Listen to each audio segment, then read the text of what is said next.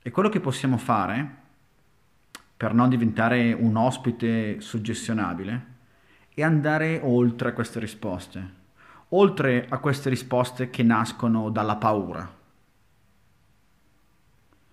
L'intuizione è quel tipo di intelligenza che si collega con la mente cosmica. Quindi se questa è la quarta risposta che abbiamo, perché abbiamo detto che la prima è la risposta di lotta, la seconda è la risposta reattiva, la terza è la risposta che nasce dalla consapevolezza derivante dal riposo, la quarta è intuitiva, la quinta è quella che va oltre l'intuizione ed è la risposta creativa. È il risultato della conoscenza. E la risposta della conoscenza è quella che si ha dal porre la domanda e dal mettere l'intenzione, quell'intenzione che ci dà l'abilità di creare qualcosa che prima non esisteva. La risposta creativa, che è una prerogativa solo dell'essere umano, perché dobbiamo ricordarci che noi siamo stati fatti ad immagine e somiglianza del nostro creatore. È solo prerogativa umana il poter creare qualcosa che prima non esisteva. Perché prima non esisteva fino a quando è stato creato dall'uomo. Sia essa una poesia, una musica, una scoperta scientifica o qualsiasi altra cosa voi pensiate. E oltre alla risposta creativa c'è un'altra risposta, quella chiamata la risposta visionaria. La risposta visionaria consiste nell'avere una visione, una visione di possibilità di qualcosa che non è mai esistito. Una visione che nasce dalla vostra creazione. Una risposta che è un sogno e io so come creare questo sogno. Magari questo sogno nasce da un piccolo incidente. Mahatma Gandhi era su un treno in Sudafrica e fu gettato fuori da quel treno solo perché aveva troppa melanina nella pelle. Troppa melanina in confronto agli altri, agli inglesi. Nonostante avesse il suo biglietto di prima classe, fu gettato fuori. E in quel momento ebbe la visione, il sogno che ultimò con lo sgretolamento dell'impero inglese. Oppure Rosa Parks, che era seduta su un autobus e quando le fu chiesto di muoversi da quella parte dell'autobus, quella parte che era riservata ai bianchi, ebbe la visione. E il movimento per i diritti civili nacque da quella visione.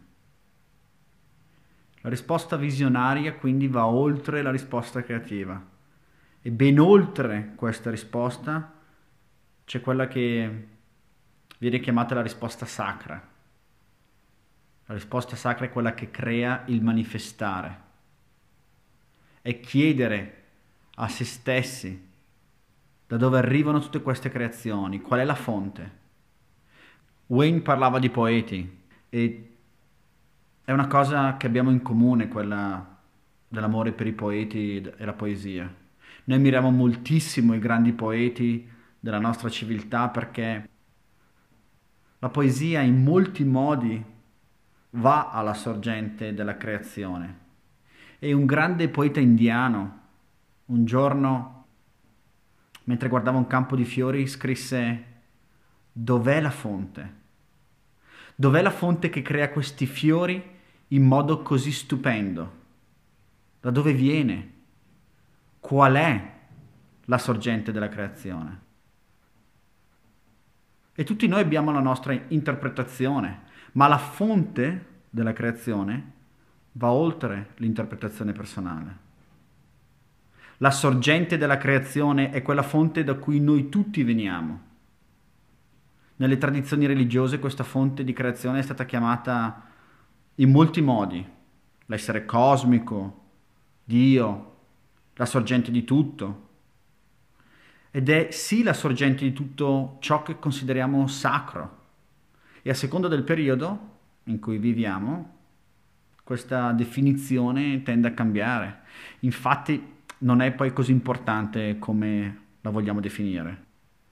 Se ci accorgiamo solamente che c'è un'intelligenza cosmica, che esiste un essere cosmico e che noi che pensiamo siamo espressioni di esso, contenuti in esso e un prodotto di questo stesso essere cosmico.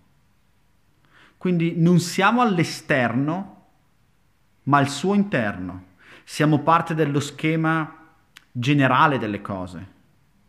La mente umana, che cerca di capire la mente del creatore, è parte di quella mente, è espressione di quella mente. Quindi più conoscerete la vostra mente e più conoscerete la struttura dell'altra mente. C'è una preghiera, una preghiera di Sant'Agostino che dice Tutta la mia vita ho bussato alla porta. E anche Rumi disse lo stesso in modo leggermente diverso. Tutta la mia vita ho bussato alla porta e quando finalmente si è aperta mi sono accorto che stavo bussando dal di dentro. Ero già dentro. E Rumi disse parlando del fare la cosa giusta o la cosa sbagliata, c'è un posto, ci incontriamo lì. Noi arriviamo girando su noi stessi dal nulla, come stelle tremolanti, come polvere. Guarda, guarda questi mondi che girano su se stessi, girano su se stessi dal nulla. Questo è nei tuoi poteri. Quindi, cos'è questo posto? Se andate da un buon scienziato vi dirà che c'è molto descritto sulla dimensione unificata, l'unified field. Forse ne avete sentito parlare. Se parlate con un fisico quantico, vi dirà che la dimensione unificata è formata da quattro forze, perché nella natura ci sono solo quattro forze. La prima forza è l'elettromagnetismo è la forza che crea la luce, il calore e così via. La seconda è la gravità, che fa in modo che il pianeta giri, tiene le stelle a, e tutti gli altri pianeti e tutte le altre cose in realtà al loro posto. La terza viene chiamata la forza forte ed è quella forza che tiene gli atomi insieme e quando la rompiamo creiamo un'esplosione nucleare. La quarta è chiamata l'interazione debole, che è praticamente la forza che mantiene le, la struttura delle particelle subatomiche, che non sono in realtà cose, sono praticamente dei fantasmi matematici, sono fluttuazioni di energia e informazioni. Cioè, in altre parole, le particelle sub- subatomiche sono più idee che cose fisiche. Comunque, tutto questo è quello che c'è. Gravità, elettromagnetismo, forza debole e forza forte. Tutto qua. Questo è quello che sappiamo, o almeno quello che sappiamo nel mondo scientifico. E secondo gli scienziati, queste forze vengono da un'altra forza fondamentale. Queste quattro forze sono la stessa cosa. Cos'è l'elettromagnetismo? È luce. Luce comune che ha una parte visibile è una parte invisibile. La parte invisibile sono i raggi X, le microonde, le onde radio, le onde TV, tutte le cose che noi non vediamo ma sappiamo che esistono, infatti le utilizziamo per mandarci messaggi, telefonare e fare tutte le cose che facciamo il giorno d'oggi. Poi c'è la parte visibile della luce. E alla fine tutto quello che c'è è quello, è luce. E le forze elettromagnetiche che danno forza agli eventi nel tempo e nello spazio danno forza alla gravità e alle forze subatomiche.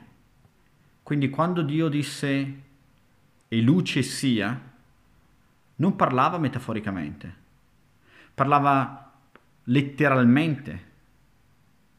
perché quello che è scaturito dalla mente cosmica è luce. Io e voi siamo fasci di luce. E quando andiamo in quel posto dove c'è la consapevolezza che va oltre l'apparenza fisica, va oltre la materia fisica, allora lì abbiamo esperienza di noi stessi come fasci di luce, perché luce è quello che noi siamo. Non è luce semplicemente in elementi e in particelle di forza, è luce di intelligenza, perché c'è una differenza tra informazione e intelligenza. Informazione tutti sappiamo cos'è, sono dati. Ma quando l'informazione dà un feedback a se stessa, evolve a livelli superiori, fino a diventare intelligente e creativa, allora non è più informazione, non è più informazione di dati, è intelligenza coscienza. Quindi la luce è piena di coscienza. E la dimensione unificata è una dimensione piena di coscienza, è letteralmente l'espressione della mente di Dio. E nella dimensione unificata, in questa dimensione di coscienza, una delle cose che è al suo interno è proprio l'intenzione. Quindi se leggete i libri della Genesi, eh, dicono che Dio disse e così sia, e infatti quello fu, perché l'intenzione fu introdotta, fu introdotta l'intenzione nella dimensione dell'energia che connette tutto con il resto. E sempre più scienziati riconoscono che l'intento è una forza della natura. Non è una forza che esiste solo nelle nostre menti, esiste anche in natura. C'è uno scienziato eh, nel periodo di Darwin, il suo nome era Lamarck, e grazie a lui gli scienziati sanno che il modo migliore per spiegare il meccanismo biologico è quello di scoprire l'intento che c'è dietro lo spirito in quell'organismo biologico. Quindi Lamarck disse che il cammello ha la gobba perché ha l'intenzione di andare nel deserto per eh, sette giorni senza acqua.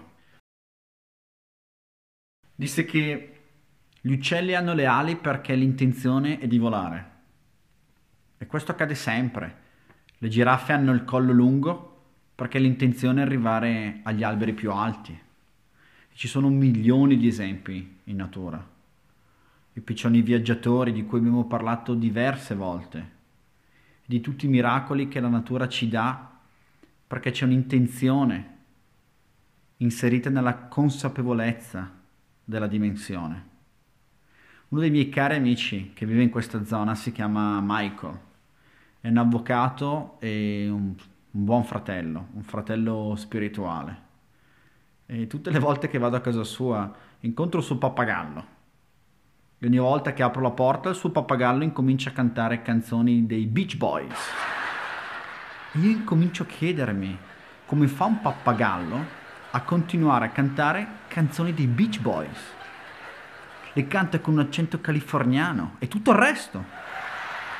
Ora, dobbiamo pensare che la misura del cervello di quel pappagallo è circa la misura di un terzo della mia unghia della mano.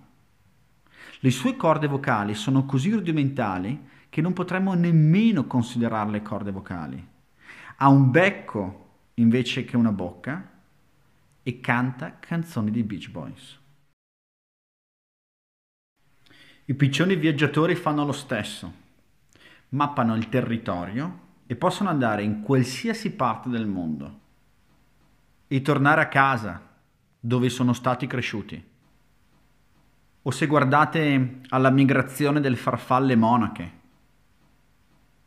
E negli ultimi due anni c'è un, un grande biologo inglese che ha scritto di molti esperimenti che chiaramente e senza dubbio hanno dimostrato che l'intenzione è parte dell'energia cosmica